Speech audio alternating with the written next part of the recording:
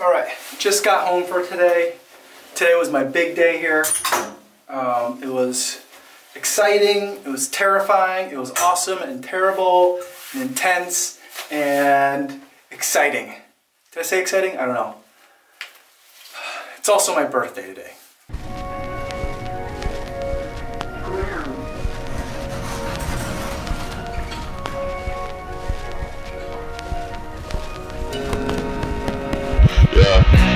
Big day today. Gotta get in early to the office. It's a little bit before seven. It's gonna be, I think yesterday was the longest day. Today's gonna be a long day. Donald Trump got elected president, by the way. That's weird.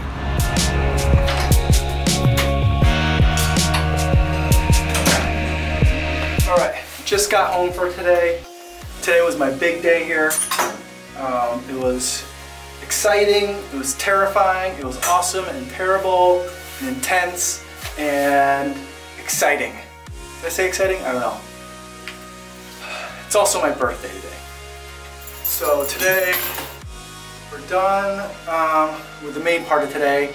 I'm gonna change out of this suit and then uh, we got a little bit more work to do. Tomorrow is the last day that I'm gonna be here. Although, I mean, I'm flying out like, I'm leaving at like 3 o'clock in the morning on Friday. Um, but tomorrow's like the last work day here and uh, things are wrapping up. So tonight should be hopefully an easy night. If I'm lucky, maybe I can have some pizza for my birthday. Okay, so I'm back from the night. It's like uh, 9.30, too late for pizza. Just gonna eat uh, the rest of this bag of Doritos and a box of Cheez-Its.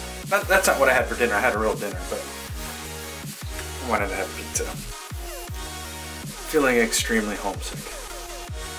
Been on the road for three weeks. I mean, I've been home for short times, but I've been home uh, on the weekends.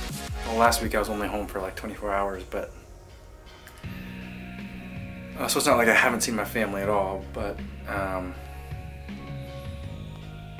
yeah, I'm tired of this. But I think I just need a vacation. I think I just need a break. I need to recharge, and uh, I'll be able to do that after tomorrow, or like not after tomorrow, after like Friday, like after noon.